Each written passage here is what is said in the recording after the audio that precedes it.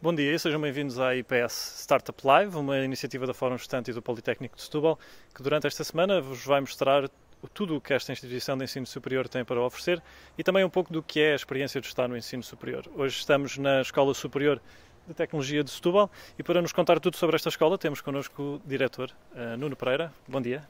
Bom dia a todos. Bom dia. Eu começava por lhe perguntar o que é que vamos poder encontrar nesta escola durante o dia de hoje. Portanto, esta escola, uh, que tem cerca de 30 anos de, de, atividade, portanto, num edifício que foi desenhado e construído para esta função, portanto, em que se consegue promover uh, a proximidade entre os estudantes e os docentes, onde as salas de aulas estão próximas dos laboratórios, onde temos um conjunto eh, bastante vasto de laboratórios que cobre todas as áreas de, de, de formação que nós temos. Todas as unidades curriculares têm componente laboratorial. Uh, e, portanto, é, um, é um, uma escola que tem cursos muito práticos e o ensino é muito prático. Portanto, e é isso que, que nós vamos demonstrar ao longo desta, deste dia, é um conjunto de laboratórios onde uh, os estudantes habitualmente uh, trabalham e que, digamos, desenvolvem suas competências que são bastante apreciadas pelas empresas da, da região. Precisamente, vamos poder, durante o dia, também acompanhar atividades uh, feitas nos laboratórios e que também vão poder dar dicas úteis para aquilo que é o cotidiano e informações interessantes para qualquer estudante. A pergunta que lhe fazia, percebi que a proximidade é algo que é prioritário para o Politécnico Setúbal e para esta escola em específico. Uh, Perguntava-lhe que outras eh, características tem esta escola que a, que a distinguem. Como eu referi, trata-se de uma escola que tem cursos de tecnologia, de engenharia e de tecnologia, Uh, são cursos, uh, temos oito cursos de licenciatura, uh, muito adaptados à, à realidade de, de, de, do nosso mercado de trabalho. a taxa de empregabilidade é extremamente elevada, há uma boa adaptação das necessidades das empresas e, e os, os, diplomados integram-se rapidamente na, nas empresas e, portanto, corresponde a uma situação que nós, em termos de, de, de formação, tentamos sempre uh, estar a par, quer em termos de, de, processos tecnológicos, portanto com os laboratórios, quer a nível de, de, dos conceitos teóricos que, que transmitimos. Uh, portanto, nós, em termos de, corpo docente, temos um, um corpo docente uh, muito qualificado, portanto, com, com, essencialmente com doutorados, mas também com bastantes especialistas e instrumentação, da indústria 4.0. é um laboratório de ponta, portanto, uh, com as tecnologias mais avançadas, uh, portanto, e que veio complementar todos os outros nossos laboratórios que tínhamos na área. Portanto, eh, este laboratório concentra toda, digamos, a tecnologia num único espaço. Nós temos outros laboratórios que têm as tecnologias preparatórias, digamos, para depois o trabalho que, é feito ali, e, isto corresponde, de facto, a um, desafio enorme que nós temos e que será uma mais-valia quer para os nossos estudantes, quer para as empresas da região e escolas profissionais e secundárias da região também, uma vez que há colaboração uh, e eles podem vir e podem usufruir do, dos equipamentos e do espaço. este, este laboratório é único em Portugal, é único na Europa também, nesta área. Uh, e, e, de facto uh, foi um privilégio nós sermos a instituição uh, escolhida pelo governo de Tianjin para a instalação desta, desta oficina. É uma estrutura relativamente recente, penso que abriu no final de 2018 um, e vamos poder visitá-lo. Fiquem desse lado e até já. Bem-vindos de volta à IPS Startup Week Live. Continuamos à descoberta do Politécnico de Setúbal e daquilo que tem para oferecer aos seus estudantes. Desta vez estamos no Innovation Lab, uma das estruturas uh, de ensino prático do Politécnico de Setúbal. E para nos explicar tudo sobre esta estrutura, temos connosco o professor Ricardo Batista. Olá. Olá, bom dia a todos. Bem-vindos aqui ao Innovation Lab. Este laboratório foi uh, produzido aqui na escola com fundos uh, de que a escola concorreu um concurso de financiamento no âmbito do desenvolvimento dos institutos politécnicos, uh, sobretudo para equipar os institutos uh, no âmbito dos uh, cursos de CETESP. é, no fundo, ou permite, no fundo, aos alunos o desenvolvimento de projetos em unidades curriculares, projetos de fim de curso, utilizando tecnologias de impressão, ou seja, de manufatura aditiva utilizando impressão 3D, mas temos também equipamentos para a área da eletrónica e também a nível do fabrico convencional com uma máquina CNC que permite fazer a maquinação de vários materiais. No fundo é uma ferramenta que está ao dispor dos estudantes, é isso? Sim, é livre para a utilização, desde que seja no âmbito de, de uma unidade curricular ou de um projeto de fim de curso. E depois todos os outros alunos podem frequentar também aqui o laboratório, desde que tenham uma pequena formação e tragam os seus próprios materiais. Muito bem. Hoje, eh, para conhecer um pouco das potencialidades eh, desta estrutura, vamos conhecer um processo de impressão 3D. O professor vai nos acompanhar desde o desenho até à impressão final. Eh, se calhar podemos começar por aqui, professor, Sim. na parte do design, digamos assim. O que é que nos pode contar sobre esta fase do processo? Bom, aqui podemos ver a fase inicial do processo de desenvolvimento de um componente para a impressão 3D ou para qualquer outro tipo de manufatura. Neste caso, estamos a ver um software, o Tinkercad, é um software livre que os alunos podem utilizar, uh, podem utilizar uh, em casa, uh, funcionando sempre online. Funciona de uma forma muito simples, é um programa muito elementar. Podemos adicionar formas, alterar a dimensão dessas formas e depois, adicionando e subtraindo, podemos obter o componente que desejamos.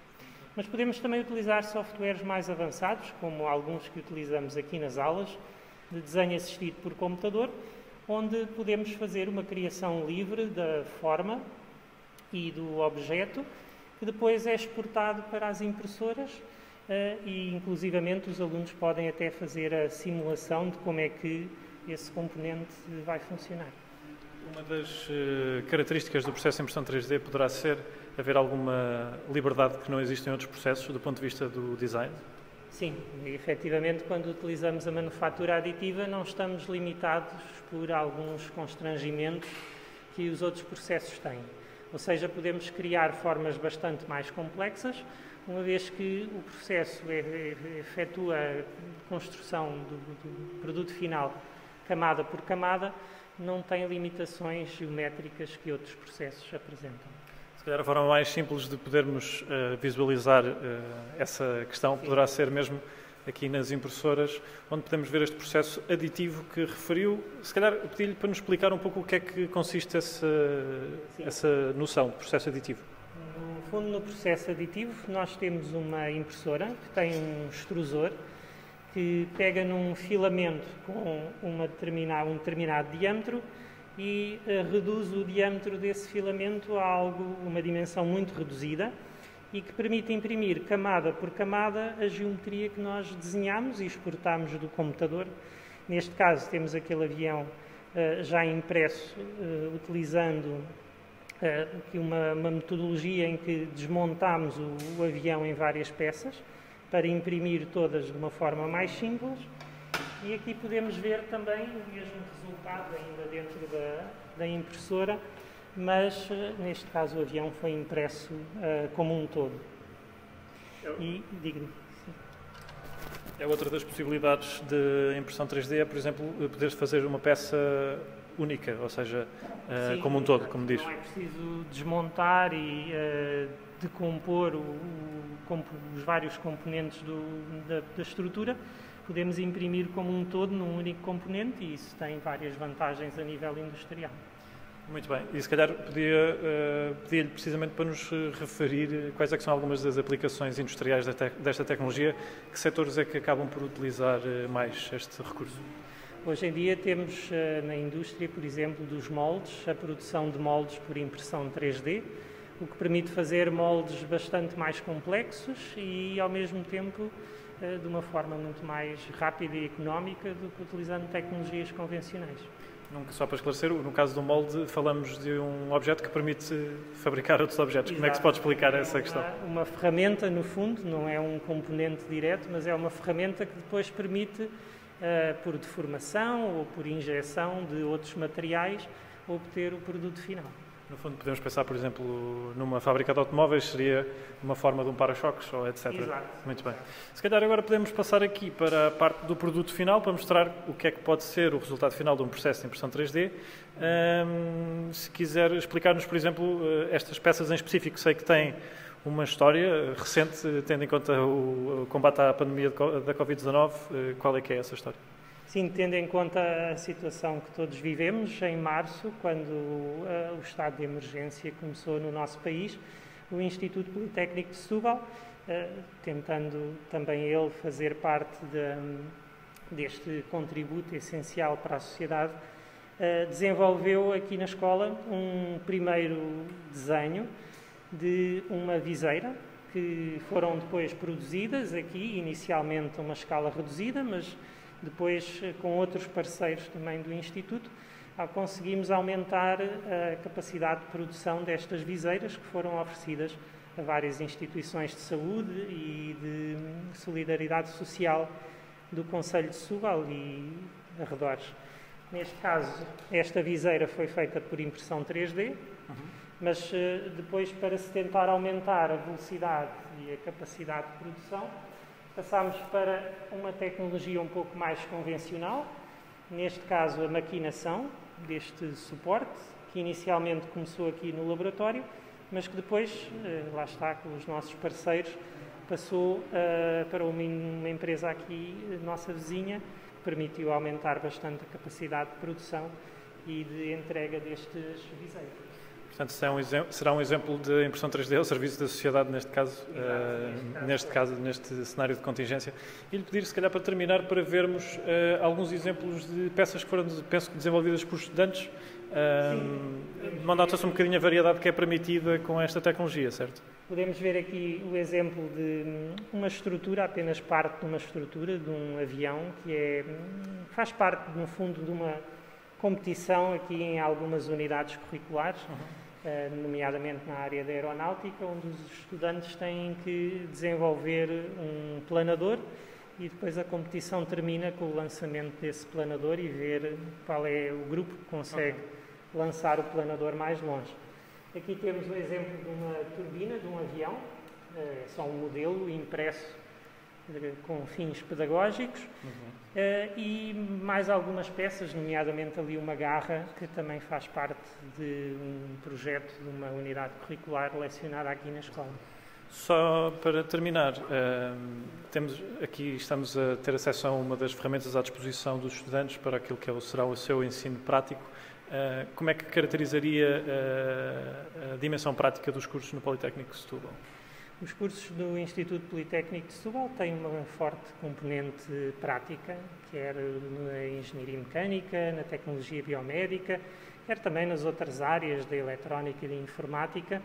Nós eh, somos realmente uma instituição que eh, tem orgulho em poder afirmar que temos uma forte componente prática e laboratorial eh, das nossas unidades curriculares. Muito bem, muito obrigado pelo seu tempo, professor. Eh, continuamos a nossa visita ao Politécnico de Setúbal. Hoje o dia é dedicado à tecnologia, na Escola Superior de Tecnologia de Setúbal, e é isso que estamos a poder confirmar e ver com os nossos próprios olhos. Eh, mais à tarde vamos continuar a conhecer as estruturas desta escola e uma passagem pela oficina Luban para conhecer mais exemplos de tecnologia de ponta. Muito obrigado e até já. Boa tarde a todos. Continuamos a nossa visita pelo Politécnico Setúbal, em específico pela Escola Superior de Tecnologia de Setúbal, eh, no âmbito da IPS Startup Live. Estamos agora na oficina Luba, eh, bem no interior da Escola Superior de Tecnologia. Vamos falar com o coordenador, o professor José Lucas, que nos vai explicar exatamente o que é uma oficina Luban. Então, professor, o que é que, o que, é que falamos quando falamos de uma oficina Luban? Eh, a oficina Luban é, é um projeto sino-português, neste caso, em que nós estamos em colaboração com a Escola eh, Vocacional de Mecânica e Eletricidade de Tianjin. Instalaram-nos este, eh, este laboratório para colaborarmos com eles em, várias áreas. Isto é um laboratório de processos discretos, com um conjunto de máquinas eh, e de processos muito diferenciados, iguais ao que nós temos na indústria, com os mesmos estándares.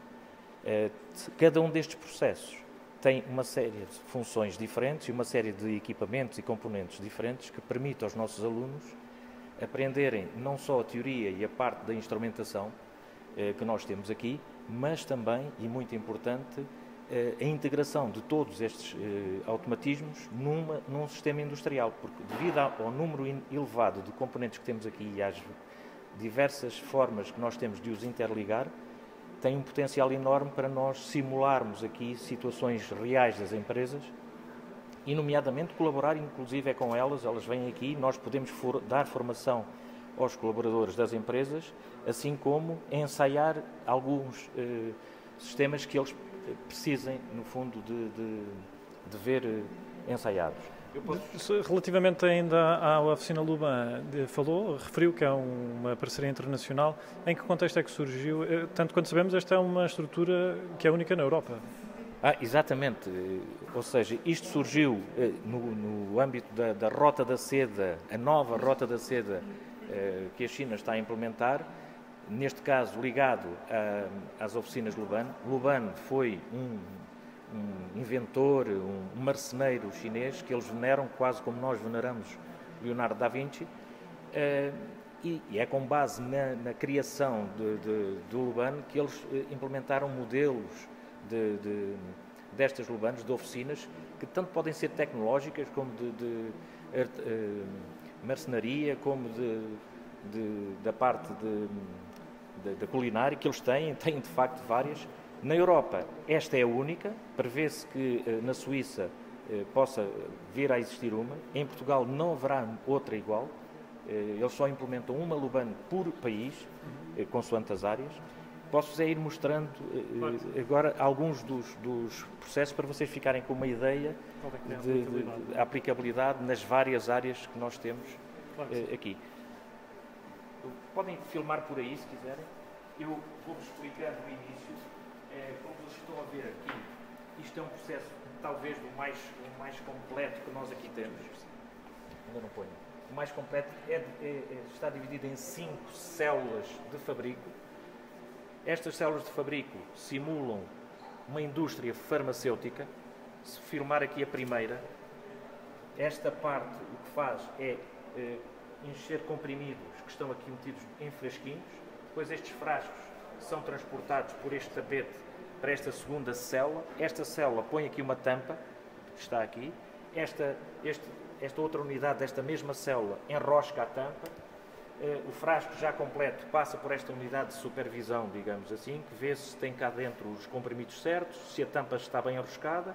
Caso passe, é colocada aqui. O robô pega no frasco, transporta para uma caixinha que, entretanto, é posta aqui depois da caixinha estar uh, cheia, o robô põe-lhe a tampa, as etiquetas e esta unidade de armazenamento, que é a última, uh, armazena no, no, armazém. Isto é um processo completo. Temos aqui vários tipos de sensores, uh, vários tipos de motores, vários tipos de atuadores. Temos aqui uma interface HMI que é típica e que existe em qualquer indústria.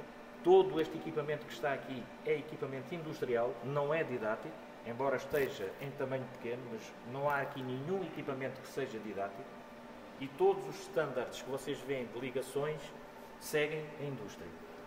Eh, eu posso mostrar... do ponto de vista de, de, um estudante, qual é que será eh, as vantagens que poderá retirar da utilização deste equipamento? Do ponto de vista do estudante, aqui temos eh, uma série de áreas que não podemos ter, não, não conseguimos pôr em prática se não tivermos laboratórios deste tipo, que é a programação do automatismo propriamente dito, a comunicação entre os vários automatismos e, no caso de haver erros, como é que eles devem prever esses erros na, na programação ou então, no caso das consolas que fazem interface com o processo, qual é a melhor maneira de informar esses erros nessas consolas para os operadores facilmente identificarem o problema e irem substituir ou, ou... No fundo é uma simulação daquilo que será o que espera no contexto de trabalho. É Exatamente. Uma simulação, mas com equipamentos reais.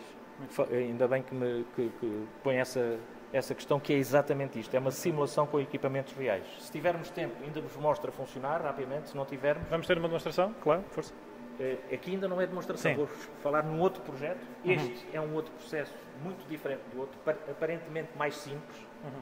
mas não. Tem aqui um identificador de etiquetas RFID, aquelas que nós vemos nos supermercados, mas que hoje em dia são usadas na indústria com muita frequência, por exemplo, na indústria automóvel, são, é a tecnologia deste tipo que diz que qual é o carro que está a ser fabricado e há uma base de dados que acompanha o fabrico desse carro ao longo das várias etapas do seu fabrico.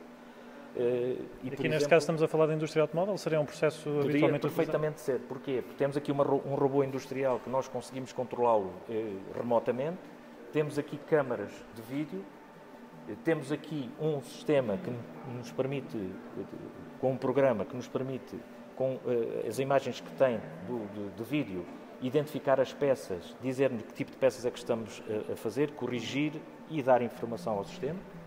E neste caso, vemos aqui vários estudantes do IPS, parece-me a trabalhar, eles estarão a trabalhar nos seus projetos. O que é que se está a fazer neste momento? Vocês apanharam-nos aqui numa situação, nós tivemos, eles estão aqui a fazer o seu, a sua, a sua formação em termos de estágio empresarial. Estes estudantes escolheram estagiar aqui no, na Lubana porque têm uma, uma, capacidade de estar a mexer exatamente nos mesmos equipamentos que temos, que, que, que existem na indústria, mas sem receio conseguem interligar. Nós, em termos da interligação de todos estes equipamentos que vocês estão aqui a ver, uhum. não é possível testá-los numa indústria. E eles aqui, nós podemos em qualquer altura estar a trabalhar Portanto, e um, parar um... e arrancar com o que pretendermos. Há um grau de liberdade grande para a aprendizagem, é isso? Exato. E muito idêntico à indústria. Aliás, eh, com o Covid, o aluno que vocês estão aqui a ver, a filmar neste momento, esteve inicialmente a estagiar na Vistion, uhum. Não pôde continuar o estágio devido à Covid e, e, veio continuar exatamente e com vantagem a fazer exatamente as mesmas coisas nesta, nesta estrutura. O que mostra então também a preparação do, do laboratório para exatamente. simular o ambiente de trabalho. E dá para nós vermos, percebermos agora com os nossos alunos porque é que as empresas ficam tão contentes com eles, que eles fazem maravilhas com isto, vão muito para além às vezes do que nós próprios temos tempo de ensinar em termos eh, eh, letivos, não é? Nos nossos, no nosso período letivo, porque as matérias são muitas e não podemos abranger as coisas todas. E, e aqui, a autonomia do estudante, ou seja, isto é mesmo uma aprendizagem eh, por eles próprios, é muito autónoma a aprendizagem aqui. Só para terminar, eh, referiu o contexto que estamos a passar, no contexto da pandemia do novo coronavírus. Eh, esta estrutura acabou por ganhar alguma relevância adicional face a esta necessidade também de simular o contexto de trabalho em ambiente controlado? Eh, neste momento, a maior relevância é que pudemos continuar os estágios a partir daquela, daquele primeiro mês em que estava uma grande indecisão, e aí não viemos mesmo para aqui, fizemos algum trabalho de pesquisa, eu próprio eh, recolheria aqui, recolhia informação e enviava para os alunos, mas depois eles puderam passar a vir aqui. Neste momento tenho aqui vários alunos a estagiar, isto é um espaço grande, vários, são seis, é um espaço grande, eles estão suficientemente separados, sempre de máscara, e a implementar exatamente as mesmas coisas que fariam na indústria. Uh, e ao mesmo tempo estamos a ensaiar uma série de metodologias de pôr coisas online, sistemas online, que provavelmente vão nos ajudar imenso uh, no futuro e vão, de certeza, ajudar-nos imenso no futuro em, em, termos de mostrar e, e a aprendizagem online. Fizemos há três dias que estamos aqui a fazer umas filmagens para, participarmos uma, uma, num congresso uh, de inteligência na China e tudo foi feito aqui com sistemas uh, industriais. Muito bem. Muito obrigado, professor, pelo seu tempo. Continuamos. Estão, estão convidados sempre que queiram muito bem, muito obrigado. é importante dizer também que o Politécnico de Setúbal está disponível para tirar dúvidas que possam ter sobre hum, a própria instituição ou sobre acesso ao ensino superior em geral, uh, através de Zooms, cujos links estão disponíveis na página studyinstubal.pt. Uh, a partir de oficina Luban é tudo. Até já.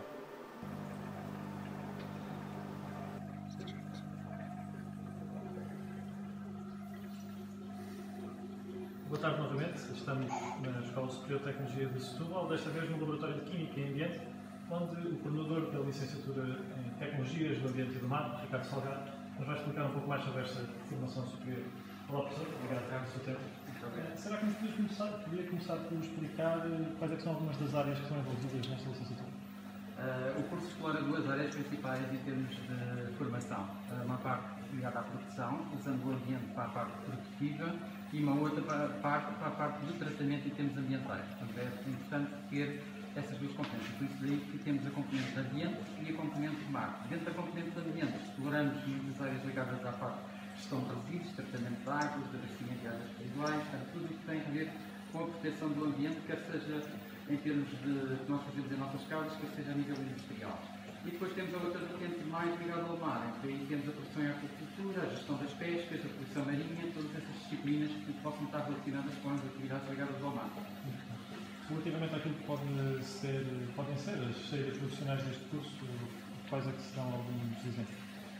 Este curso, uh, no final, uh, é um curso que são uh, de licenciatura, portanto são de 3 anos. No final, todos os alunos normalmente têm um estágio e nas empresas, portanto, eles normalmente optam sempre pelo estágio e começam a ter logo uma primeira prática de contacto com a empresa.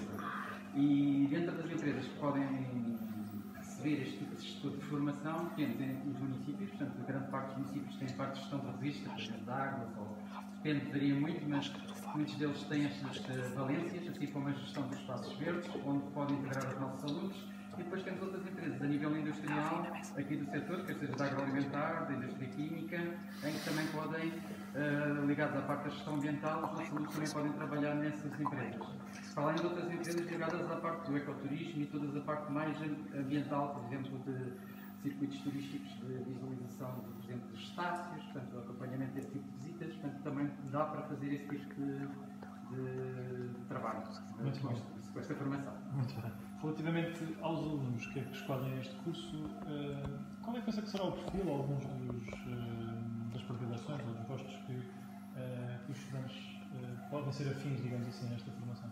É assim, eles gostam bastante da parte biológica, da parte marinha, tudo o que mexe, portanto, eles gostam muito tudo quanto é bicho, normalmente gostam bastante dessa parte mais eh, natureza, porque atualmente fala-se muito da sustentabilidade do planeta, dos problemas ambientais, então eh, muitas das pessoas revêem-se nessa formação de, de, realmente proteger o ambiente e neste, neste caso particular ligado ao mar, porque se tem ouvido falar muito do lixo marinho e tudo isso, como afeta as espécies, portanto, daí que é uma área que, que os alunos se interessam bastante por essa proteção. E há outros que também vêm pela componente mais ambiental, porque às vezes não estão de resíduos ou outras áreas mais do ambiente às vezes não são tão visíveis, ou seja, eles não têm tanta noção quando acabam a formação do 12 e ingressam na nível de licenciatura, ainda não têm uma visão global do que é que pode ser este curso do ponto de vista de darem em termos de saídas profissionais, o que é que podem vir a fazer. Daí que uh, eles vêm mais a sensibilidade que eles têm maior é para a parte da biológica, para a parte marinha, biologia marinha, as disciplinas ligadas à biologia marinha, microbiologia, portanto, à aquacultura, esse tipo de disciplinas. Muito bem.